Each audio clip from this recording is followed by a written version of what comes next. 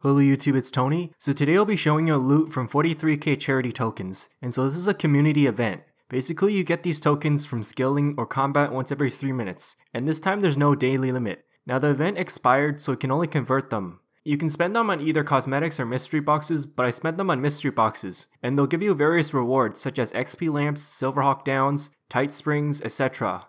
I got most of my tokens while doing Slayer over the past few weeks, and most recently I've been training my combat stats. Despite working a full-time job, I was still able to get online enough just to get more of these. But yeah, I pretty much had like 30k back when I was doing the Beach Sand event. So the small box will cost you 250 tokens, and this will give you 3 rolls from the loot table. Then the large box will cost you 500 tokens, and will only give you 5 loots from the loot table. Essentially overall, the small boxes will give you more rewards. Pretty much is the same loot table as the beach sand, but the only difference is how much it costed to convert them. I'm pretty sure it costed like 375 for a small box instead. With that being said, I'm going to be converting all my charity tokens to small boxes, and I have a total of 173.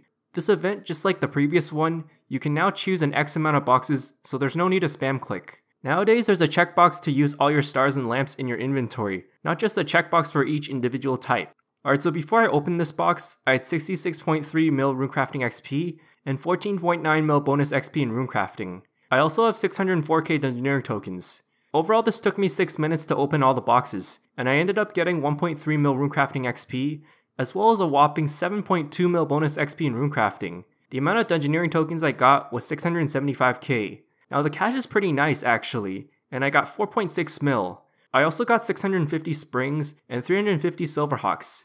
It's also nice that I got 14 pulse cores, which I can use later on. The spirit diamonds, I got 21 of them, and then the spirit rubies, I got only 19 of them. Yeah, I know I'm 200 mil summoning, so it doesn't really matter for me. So in conclusion, I did obtain way more XP compared to last time. I mean, last time I only got like 200k runecrafting XP and 2.2 mil bonus XP from 80 boxes. I even got a lot more cash bags. Maybe I might have gone luckier or they buffed the loot table. I don't know, but the loot seems pretty nice compared to last time. So yeah, thanks for watching and I hope it helps. If I missed anything, feel free to ask.